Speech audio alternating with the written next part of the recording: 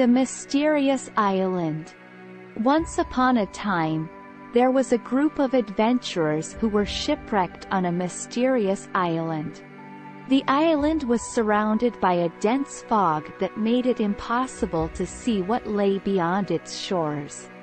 As the group explored the island, they discovered that it was filled with strange creatures and hidden treasures.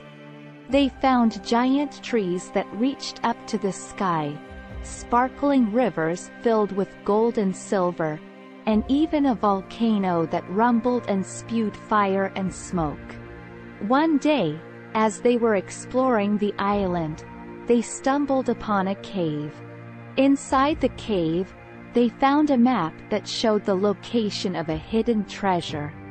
The map led them through dark and dangerous passages, but they were determined to find the treasure. After a long and treacherous journey, the group finally reached their destination.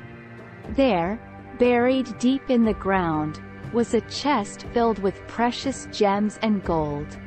The adventurers were overjoyed and celebrated their newfound wealth.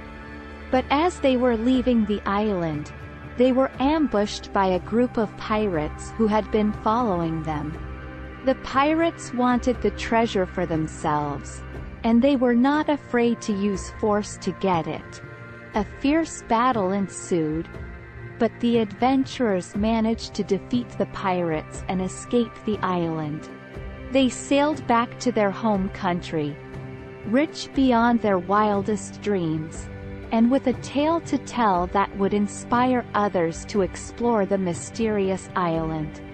Years later, a new group of adventurers arrived on the island, searching for the treasure and the secrets it held.